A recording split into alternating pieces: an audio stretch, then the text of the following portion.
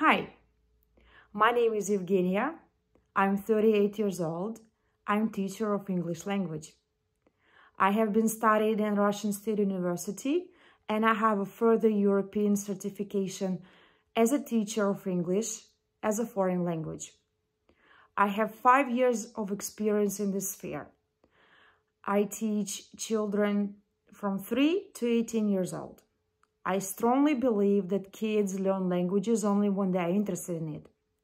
That's why my online classes are full of different activities such as singing, even writing, we do a lot of artistic projects, we even do dancing. I use particular software with my students so we can do the classes online and even homework online.